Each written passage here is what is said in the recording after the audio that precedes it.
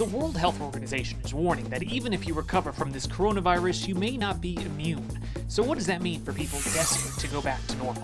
Let's connect the dots. One key to communities opening back up is herd immunity. That's the idea that a high enough percentage of people are immune to a contagious disease to stop it spreading through the population. But not all immunity is created equal. For some diseases, like mumps, once you've had it, you are immune for life. But for others, like the common cold, it's a few months.